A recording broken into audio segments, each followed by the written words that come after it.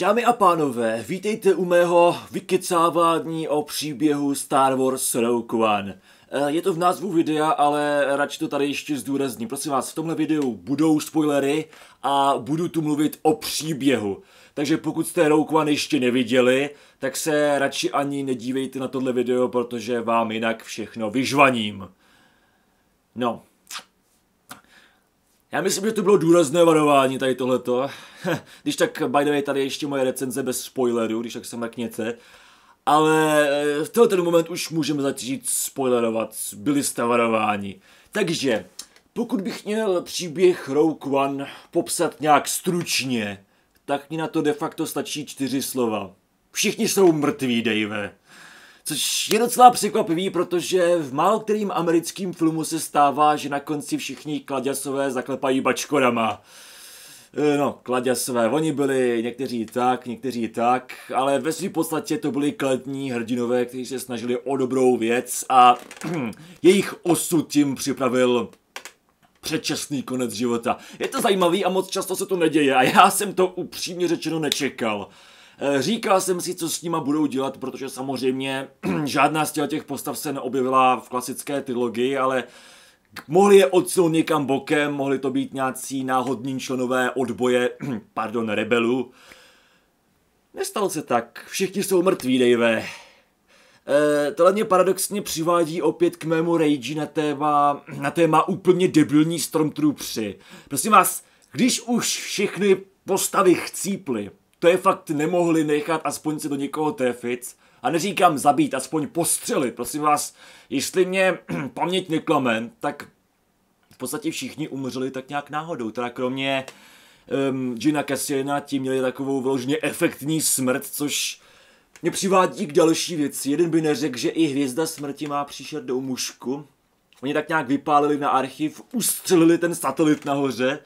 On to dopadlo někam do moře. Puf, obrovská exploze vlna.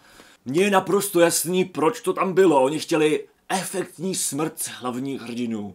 Gina Cassiana.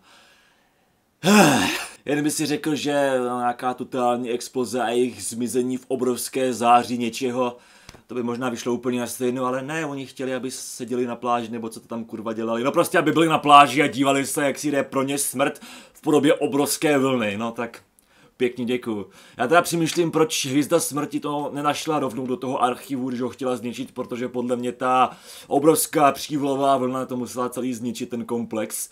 No, Ono je otázka, z čeho je to postavený, ale, ale jelikož tam, že jo, byly průrvy, a jelikož vnitřek té základny byl jednoduše dostupný, tak bych řekl, že ta základna, pokud přežila tu obrovskou vlnu, tak je teďka nepoužitelná, ale hm, podle toho, co jsme viděli při tom prvním testu Hvězdy smrti, v tomhle filmu teda, on to byl vlastně de facto úplně prv, první test, že jo.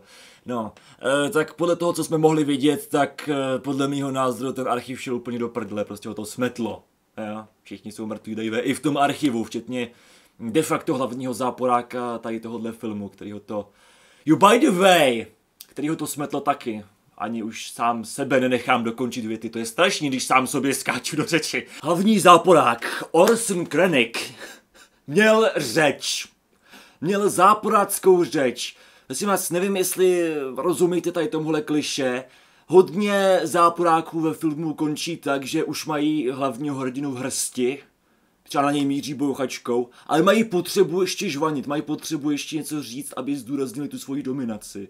No a přesně během tady tohohle proslovu je někdo nebo něco zabije. A přesně tohle se stalo v Rogue One.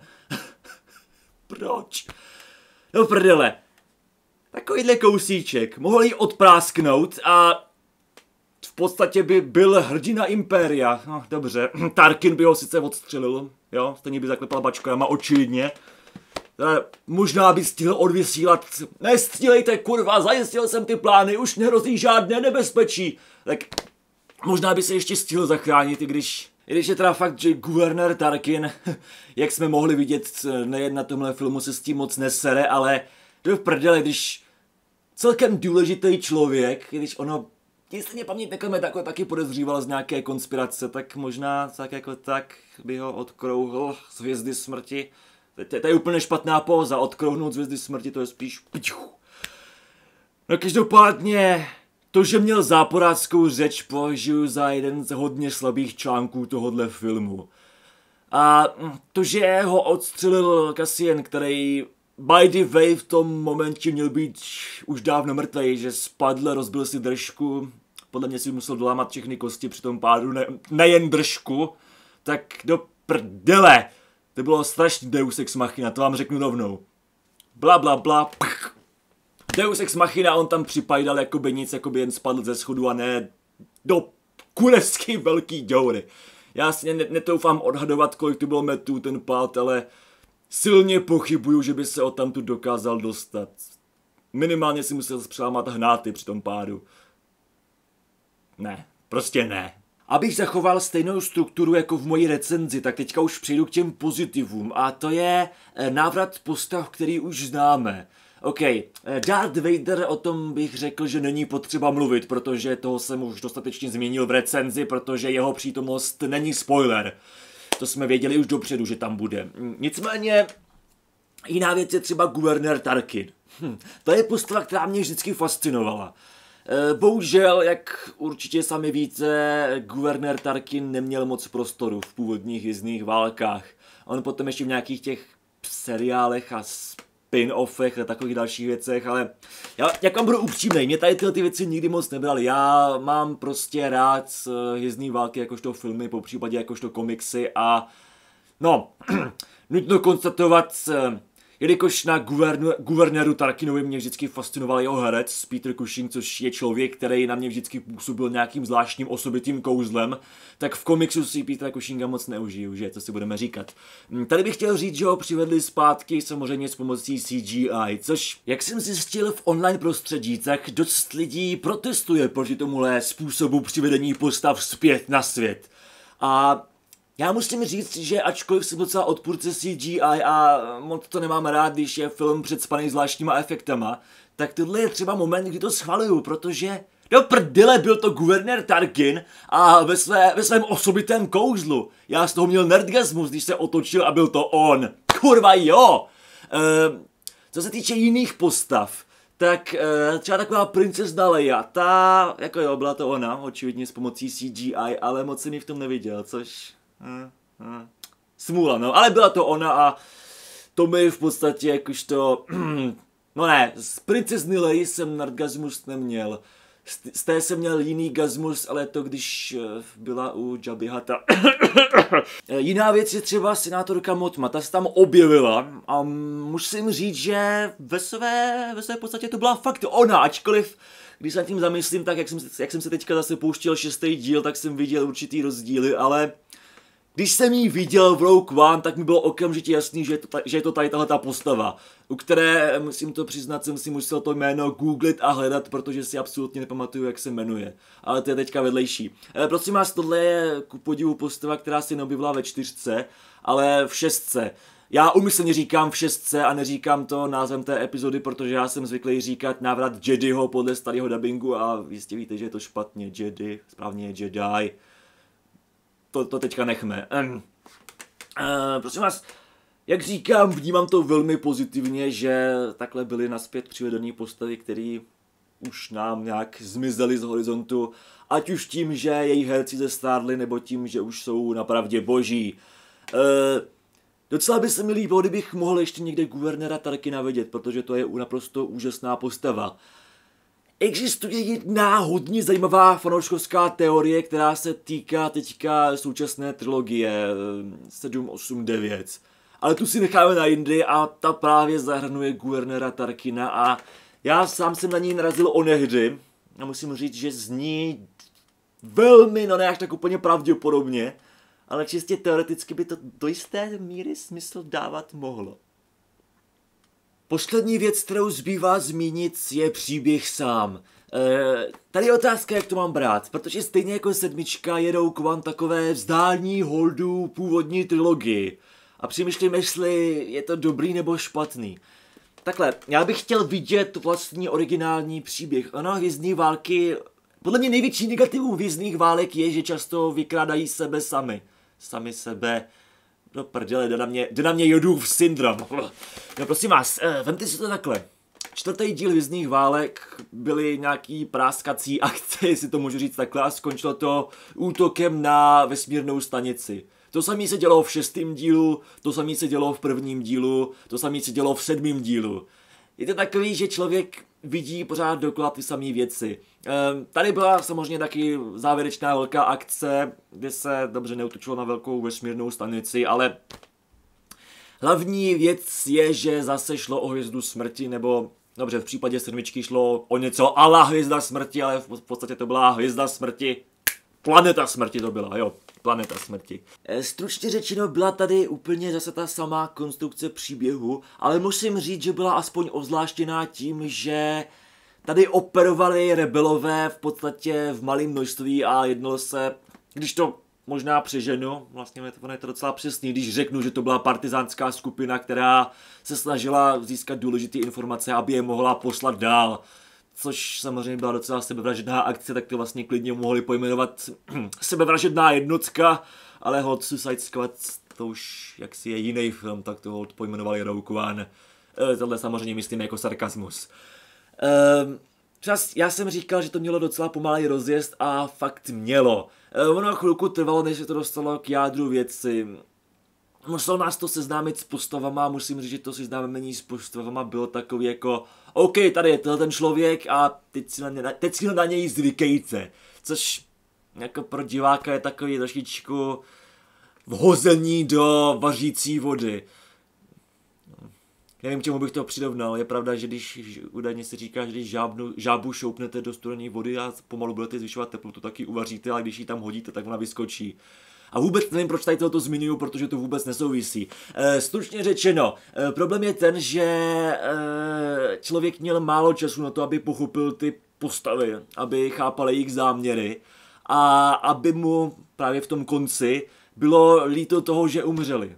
Třeba Han Solo, to je postava, kterou jsem fakt měl rád a to, to, to, co, to co se mu stalo v sedmičce, to mě docela zabolelo, jako co docela, to mě kurva hodně zabolelo. Jo, v tomhle to mě sedmička docela zasáhla. A tady u té šestky to bylo takový, ahoj, tady máme nějaké nové hrdiny, čau, jsou mrtví pápa.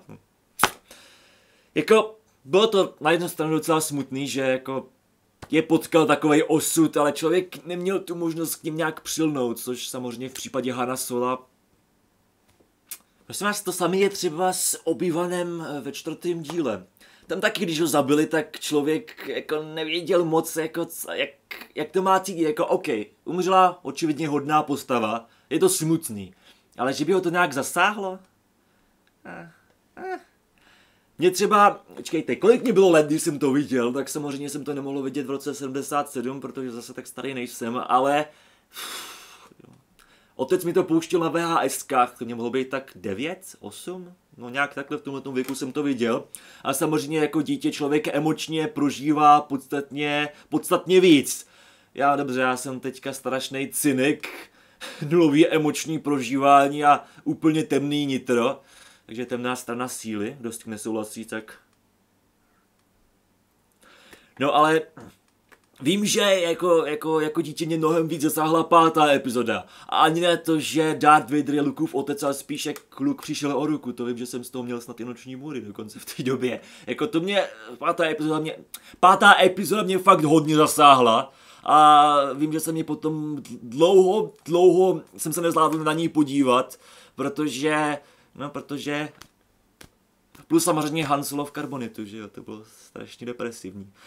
No, prostě moje pointa je taková, že ano, ten konec byl smutný, ale člověka to prostě nemělo jak zasáhnout, ačkoliv rozumíte mi, doufám, že jo. Nicméně, abyste si nemysleli, že na to nadávám, nebo že tady nějak kafrám o tom, jak to stalo za hovno. Hele, ten příběh byl dobrý, podle mého názoru. Jak říkám, pomalej rozjezd, potom toho nahánění plánu Hvězdy smrti, jo, bylo takový zdlouhavý. Ale e, mně se to líbilo. Bylo to takový, že se pátrá po něčem, co je kurevsky důležitý a co je potřeba najít. Ano, člověk věděl, že to prostě najít musí, protože jinak by to nedávalo smysl v, rám, v rámci lóru. Ale jo, měl jsem o ty postavy docela strach, to přiznávám. E, a musím říct, že ta závěrečná bitva právě kolem toho archivu, samozřejmě ještě za příletu povstalců, byla podle mého názoru úplně skvělá. Fakt, fakt hodně dobrá Já jsem někde četl, že tam byly nějaký odkazy na válku v Větnamu a docela bych řekl, že jo, že to tam místy bylo vidět. Třeba jak se povstalci plížili přes prales, to byl podle mě jasný odkaz, jasná reference. E, celá ta závěrečná bitva byla dobrá taky v tom, že díky tomu, že tam byli i povstalci bez jména, náhodní hrdinové, tak se konečně Stormtroopři mohli do něčeho trefit, že jo. Um, lituju jedné věci, při útoku stíháček tam nebyl Porkins, to je obrovská škoda. To je jeden takovej, ani ne tak moc hrdina, protože on se objevil na chvilku během útoku na hvězdu smrti ve čtvrté epizodě a potom teda odešel na pravdu boží. Nicméně je to postava, která se stala kultovní v rámci fandomu. Porkins, to si fajn naděte jeho scénu. No prostě Porkins, škoda, že ho tam nedali, to bych třeba já ocenil, jakožto návrat jednoho hrdiny, který potom se ocitl na seznamu obětí boji, boje proti impériu. Um, k tomu příběhu se nedá už říct nic víc. Píčovina, Darth Vader a jeho drsňácká likvidace povstalců. To byla, to byla scéna plná energie. Někdy si říkám, že jsem možná dal relativně vysoký hodnocení právě díky tomu závěru, k tam prostě Darth Vader šel a žum, žum, force skill. Hele, ta scéna právě v závěru, jak nastoupil do akce Darth Vader, to byla naprosto fantastická a za to fakt tvůrcům toho, tohohle filmu blahopřeju, dávám oba palce nahoru. Čeče, mám nutkání, čověče, dámy a pánové, mám nutkání na ten film jít ještě jednou. A přemýšlím, jestli chci vidět dubbing. E, teďka, jak jdou reklamy, samozřejmě, samozřejmě na YouTube, tak je tam právě český na Rogue One ten dubbing soudě podle toho traileru je strašný. Já osobně bych vám nedoporučil chodit na, na vlastně, vy už jste to viděli, takže no. By the way, proč chodíte na filmy s dubbingem? Já upřímně většinou preferuju titulky, protože a i se docela chytám anglicky, tak vnímám třeba rozdíly mezi českým a anglickým překladem a pochopím třeba nějaký zajímavý věci nebo joky, který který v češtině nevyzní. You by the way, tím samozřejmě nechci říct, že český překlad byl špatný. Naopak František Fuka jakoby jakožto český překladatel odvedl naprosto fantastickou práci. Já obecně Fuku znám docela dlouho, třeba i díky jeho naprosto úžasným překladům komiksu Red Meat, který by the way považuji za nejlepší z těch překladů, co jsou. Tak rozhodně František Fuka taky oba palce nahoru. Tečka. Co říct závěrem? Takhle, eh, já jsem dal Rogue One 6 z 10, což není bůh ví jak vysoká známka, ale pořád to vnímám jako nadprůměrný film. Eh, kdyby se mě někdo zeptal, jestli má cenu ten film vidět, řekl bych určitě ano, běž na to, ale běž samozřejmě na titulky. Um, rozhodně pokud je někdo fanoušek hvězdných válek, tak to neexistuje výmluva, proč tenhle ten film nevidět. Tohle se prostě vidět musí. Jo, to, to neříkám jako, jakož nějaký fanboy výlev, naopak jste mohli vidět, že jsem k tomu zaujal celkem kritické stanovisko, ale musím říct, že fanda hvězdných válek tohle prostě vidět musí, protože z toho bude mít nadgazmy a já jsem z toho nadgazmy měl. Takže z tohohle hlediska ten film na mě působil úplně, úplně bezvadně a ano, byl to jeden z důvodů, proč jsem dal 6 z 10, protože to fakt poměrně úspěšným způsobem připomíná starou zlatou éru hvězdných válek. Ale chtěl bych říct, že pro příště to chce fakt originální příběh, ať už teďka v osmém díle, po případě v tom dalším spin-offu, který, jestli mě paměť neklame, se má týkat Hana Sola. Dobrý, tak to je dámy a pánové ode mě úplně všechno a pokud máte třeba nějakou poznámku, tak uh, můžete napsat do komentářů. U té recenze jsem měl takový zajímavý dialog na téma Stormtroopři. Um, to já prostě vás neberu, to bych chtěl ještě úplně nakonec důraznit, klidně mě spochybněte. Já to beru tak, ne, že se hádám, ale že diskutuju. Já hrozně rád diskutuju o geekských tématech, ale ono většinou není moc kým, protože buď se v tom lidi nevyznají, anebo, no, nebo neznám, neznám nikoho, kdo by se v tom vyznal, to je taky pravda. Nebo znám strašně málo lidí, co se jako má o tom určitou představu o hvězdných válkách. No prostě nemám si, nemám si o tom s kým pokecat, tak mi udělejte radost, trošku si pokydáme, co vy na to. Ne, já už to, tu, ten svůj víkec nebudu, nebudu dál natahovat a uvidíme se u nějakého dalšího videa, tak čau. A jo, e, pro vás je vás síla.